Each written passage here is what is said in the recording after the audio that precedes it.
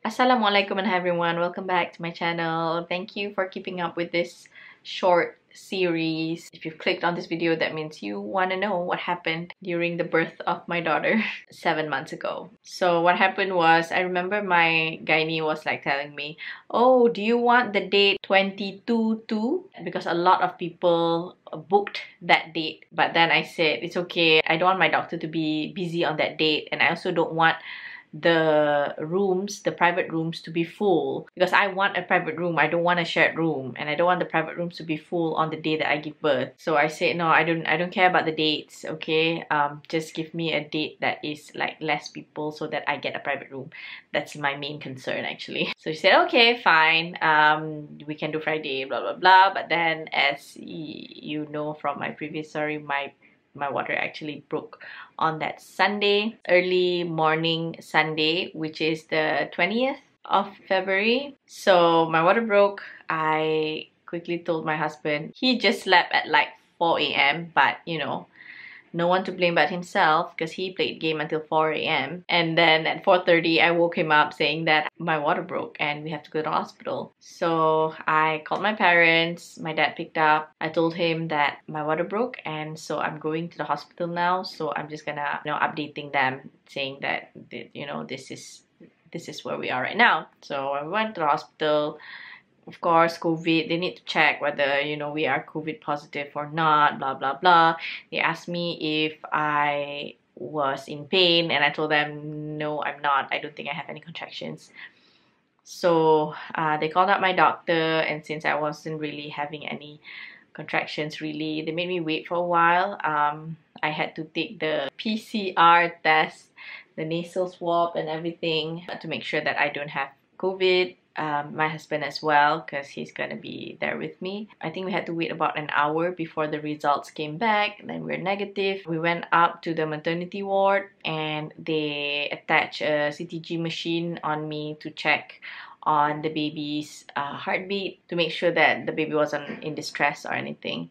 The baby's heartbeat was okay, I was fine, but I was leaking a lot of fluid at that time, so there was no way to you know, stop labor or anything like that. But I wasn't really having much contractions, just my water just broke. But I still had my cerclage on, so I wouldn't be able to dilate open anyways. A few hours later, my doctor finally came, give, give me a check, and then she said, okay, so far your baby is doing good um, let's take out the cerclage first. They give me an epidural. I already said I am, you know, whenever I can, I want to take the epidural definitely to give birth um, because I already felt all the pain, you know, during my first pregnancy. So I didn't want to feel the whole contraction thing this time again if I have a choice. So they gave me epidural. She took out the cerclage um, it took a while and then um, the doctor said okay your baby's heartbeat is doing okay I'll give you a choice whether you want to have a normal birth or a C-section. If a normal birth, I will take off your cerclage and then we'll induce labor and we'll see how it progresses from there. But if ever in any case that my baby's heartbeat is not doing so well and the baby seems to be in distress, I will have to go to emergency Caesar. But if I just opt for Caesar, then they can just straight away do that. So, of course, I said since um, everything is doing well, I want to try for normal vaginal delivery. She allowed me to do it and she said, um, okay, fine, we will add on Pitocin to induce the contractions and we'll see how it goes from there. After I put on the epidural, she took out the cerclage. It took a while. Uh, apparently, she said the, the cerclage was quite embedded in my cervix, so it took a while for her to take it out, but she managed to do it and I was quickly dilated to about 3 cm. A few hours went by. It was about I mean 1 to 2 p.m. I remember I was dilated to up to 7 cm I think but then I noticed that every time the contraction came the baby's heartbeat would drop well below 100 which is definitely not safe and is a sign that the baby is in distress. I could feel the contractions coming but I just don't feel the pain. That's what the epidural does, the magic of epidural. So when that happened, not long after that, the doctor came and said, um, your baby is in distress so we're gonna stop the pitocin and we're gonna have to go to emergency Caesar because she said it seems that when the contraction is getting hard the baby's heart rate would drop well below 100 which shows that there's a chance that the baby might not survive the whole birthing process because the contraction is only going to get intense, intense, intense, and more intense as it goes through the passage. I would be risking my baby's life if I insisted on getting a normal delivery. So you know at that point i was already you know hours in labor. So i told my doctor you know what take me to the OT, just get her out safely. So not long after that, they added uh, more epidural on me um, until I really couldn't move my legs, couldn't even feel my legs. It was a funny feeling and then they wheeled me into the OT. It was really really cold. I met my doctor in there and she's like, you seem nervous, let's put on some music. And I'm like, oh my god, oh my god, it's happening, it's happening, it's happening. My husband was allowed to come in but um, you know he had to be prepped and wear all the you know whatever that you wear in the OT so it took a while before he could come in. My doctor asked um, shall we wait for your husband? But I was like no no no no no. We should just go ahead and just continue. I really wanted her safe out. I'm lying down on the bed. They put a screen on my chest so that I wouldn't be able to see you know what's going on down there. Yeah they cut me open. I remember the the ns doctor was beside me and he was really nice. He was telling me what was happening because everyone was busy down there you know just trying to get the baby out. But he was there with me and he says like okay um you don't feel anything right it's fine uh, okay good you it'll be it'll be over in a minute. I remember he told me okay you just hold on for a while just a little bit more she's almost out make a lot of dua she's coming out now she's coming out now. And it felt like a whoop. And yeah. And I heard her cry. All I said was okay Alhamdulillah Alhamdulillah Alhamdulillah Alhamdulillah Alhamdulillah. Literally I was like that. Alhamdulillah Alhamdulillah Alhamdulillah Alhamdulillah Alhamdulillah Alhamdulillah. I was just so grateful to hear her come out crying. And I don't know where my husband was at that time but eventually he made it in because she was a preemie. They made sure the team in the OT was the NS doctor was there my O&G doctor was there. There was a neonatologist as well um, in case uh, she comes out with any preterm birth complications.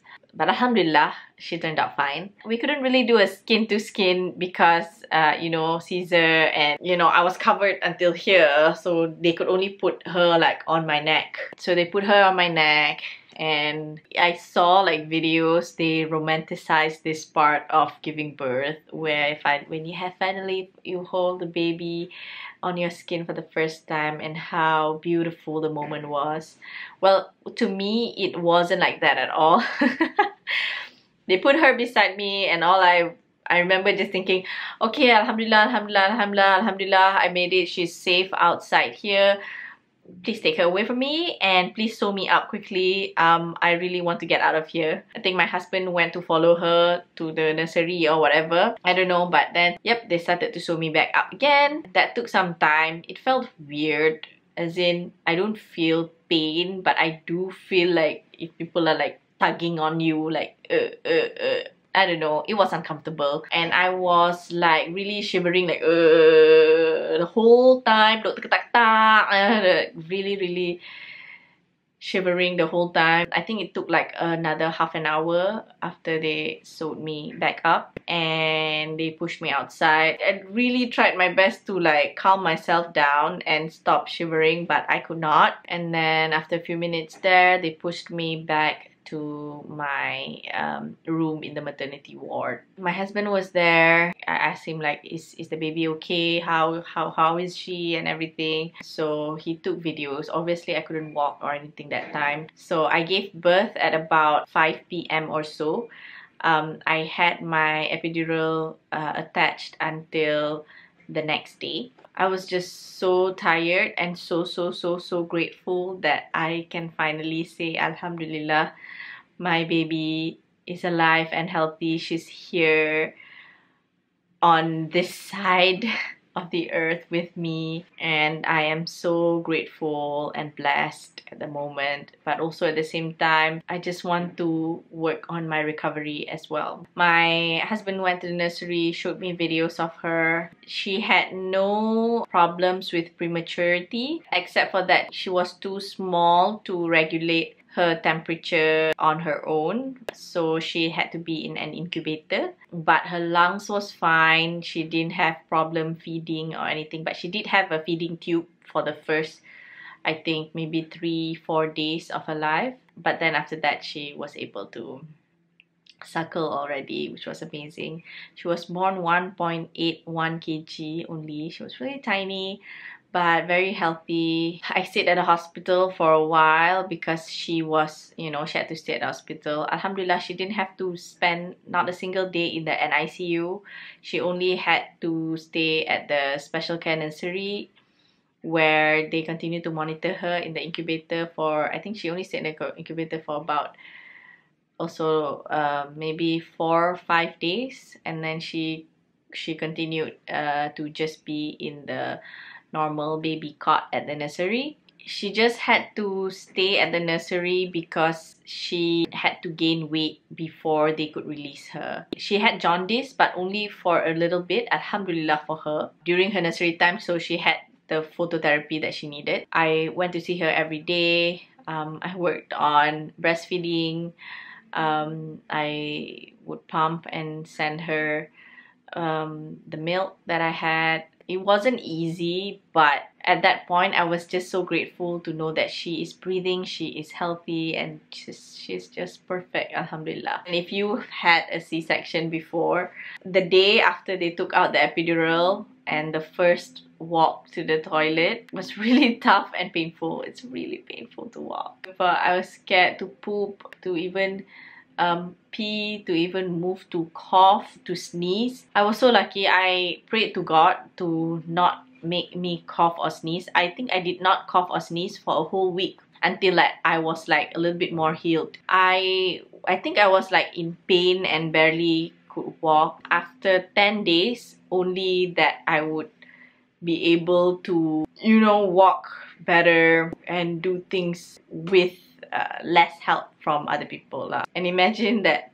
I had a C-section and it was hard and I still have to go back and forth to the hospital after I was discharged. My baby was not discharged yet, so I still had to go to the hospital every day. Before we are able to get our baby discharged, they have this thing called a room in period where I will have to be with my baby at the hospital for a day or two and see how I manage to take care of my preemie baby myself, basically. But my husband, of course, can join and help me. So we had our room in day and seems like everything is fine. The nurses helped a lot in teaching us how to take care of the baby, what to do when this happens, this and that, about breastfeeding and how to bathe the baby, how to clean the baby and things like We learned quite a lot of things during our days just going back and forth to the um, SCN, the special care nursery. Yeah, the nurses were good enough to convince the doctor that